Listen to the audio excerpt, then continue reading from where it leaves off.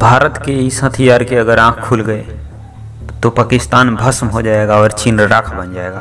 और भारत का एक ऐसा हथियार जिसका नाम काली पर रखा गया है। एक ऐसा हथियार जो दुश्मनों को वैसे ही नाश करेगी, जैसे माँ काली करती है। काली माँ का नाम सुनते ही बड़े से बड़े राक्षस जिस तरह से कांपते हैं, ठीक उसी तरह से ही चीन और पाकिस्तान इस भारतीय हथियार का नाम सुनते ही उल्टे पाव भाग खड़े होते हैं। यह दोनों देश अपनी हरकतों से बाज नहीं आते हैं। एक तरफ़ एल में पाकिस्तान हमेशा सीज फायर तोड़ता है तो दूसरी तरफ़ चीन एल पर भारत में घुसपैठ करने की नाकाम कोशिश करता है। लेकिन जब काली की बात आती है, तब यह दोनों देश पीछे भागने लगते हैं। आखिर क्या है इस वेपन में, जिसकी वजह से चीन और पाकिस्तान ही नहीं, बल्कि दुनिया के तमाम देश इस भारतीय हथियार से खौफ खाता है? तो आइए जानते हैं इस वीडियो में।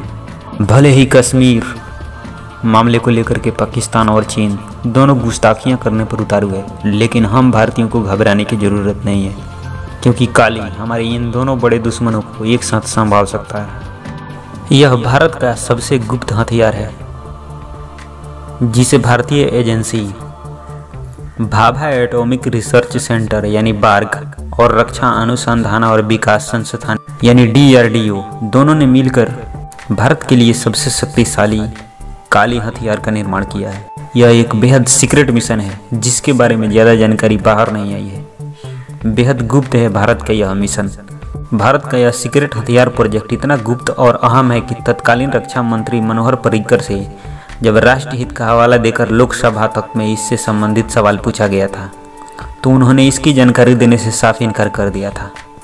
दरअसल मनोहर पर्रिकर जब रक्षा मंत्री थे, तब उनसे लोकसभा में प्रश्न किया गया कि क्या काली पाँच हज़ार को देश के रक्षा विभाग में शामिल करने का कोई प्रस्ताव है? अगर हाँ तो उसके बारे में बताया जाए। रक्षा मंत्री मनोहर पर्रिकर ने इस प्रश्न के उत्तर में कहा कि जो जानकारी मांगी गई है, वो अति संवेदनशील है और इसकी जानकारी का खुलासा देश की सुरक्षा के हित में नहीं है। तो इसलिए रक्षा मंत्री के इस बयान से स्पष्ट हो जाता है कि काली पर लगातार काम चल रहा है। और इसके बारे में सरकार कोई भी जानकारी सार्वजनिक नहीं कर सकती है। काली से बेहद खौफ ज़्यादा रहता है पाकिस्तान।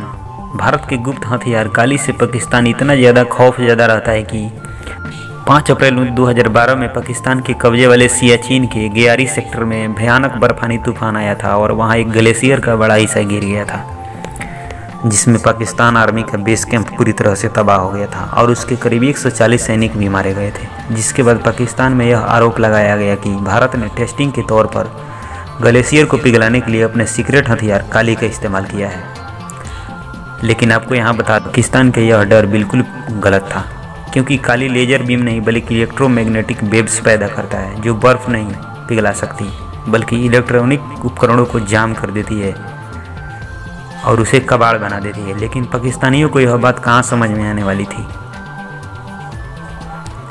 वे लोग आज भी काली का नाम से खौफ खाते हैं। आपको बता दें, काली के निर्माण की योजना साल उन्नीस सौ पचासी में भाभा एटॉमिक रिसर्च सेंटर के डायरेक्टर डॉक्टर आर चिदम्बरम ने इसकी योजना बनाई थी, लेकिन इस पर काम उन्नीस सौ नवासी में जाकर के शुरू हुआ।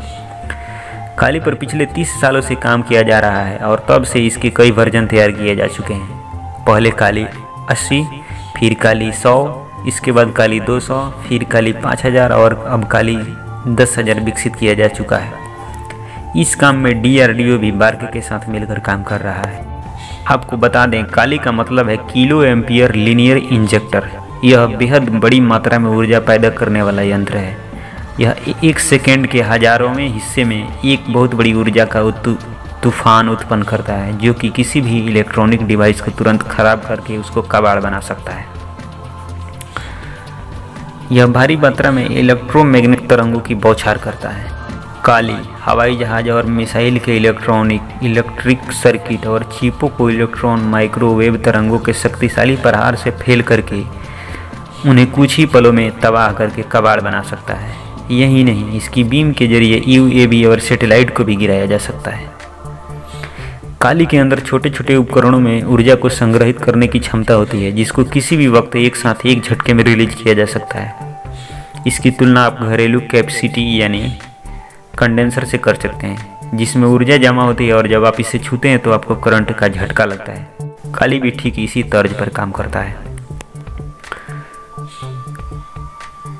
काली के शुरुआती वर्जन में एक गीगाबाइट ऊर्जा नैनो सेकेंड्स में निकलती थी। लेकिन भारत के पास इस वक्त काली का जो वर्जन है, वह 40 गीगावाट तक ऊर्जा उत्पन्न कर सकता है एक सेकंड में, जो तबाही मचाने के लिए पर्याप्त है। काली दस हज़ार में इतनी क्षमता है कि वह 40 गीगावाट तक ऊर्जा सिर्फ़ 100 मिली सेकेंड में उत्पन्न कर सकता है। शुरुआत में काली को भारत के सुपरसोनिक विमानों की जाँच के लिए तैयार किया गया था। पहले योजना बनाई गई थी कि काली को हमारे सेटेलाइट पर तैनात किया जाएगा, जिससे कि किसी भी परमाणु हमले की स्थिति में उन्हें कोई नुकसान न पहुँच सके। और हमारे उपग्रह सूर्य की कस्मिक किरणों से भी सुरक्षित रहे। लेकिन साल 2004 में काली 5000 का निर्माण कर लिया गया, तब इसकी ऊर्जा संग्रहण और ऊर्जा विस्फोट की क्षमता को देखते हुए इसे इसे हथियार के तौर पर विकसित करने का फैसला लिया गया। लेकिन इस बात से कोई इनकार नहीं कर सकता कि एक हथियार के तौर पर काली बहुत कारगर है, क्योंकि यह किसी भी इलेक्ट्रॉनिक उपकरण को तुरंत नष्ट करने में सक्षम है। अपनी इस क्षमता की वजह से काली, लड़ाकू विमानों और मिसाइलों के इलेक्ट्रॉनिक सर्किट को नष्ट करके उसे उन्हें तुरंत बेकार कर सकता है और मिसाइलों की दिशा बदल सकता है। दरअसल, आजकल सारी मिसाइलें और लड़ाकू विमान जीपीएस टेक्नोलॉजी पर काम करते हैं और काली किसी भी तरह की तकनीक का दुश्मन है, इसीलिए यह लड़ाकू विमानों और मिसाइलों का काल भी कहा जाता है। काली दुश्मन के टैंकों, लड़ाकू विमानों, मिसाइलों और यहाँ तक कि नौसैनिक जहाज़ों सैटेलाइट्स को भी चंद पलों में कबाड़ का ढेर बना सकता है। और दोस्तों, काली की एक और खासियत यह है कि यह अपने प्रहार से जहाज़ का सारा इलेक्ट्रॉनिक सिस्टम तबाह कर सकता है, जिससे कि वह जहाज़ महीनों तक समुद्र में भटकता रह सकता है।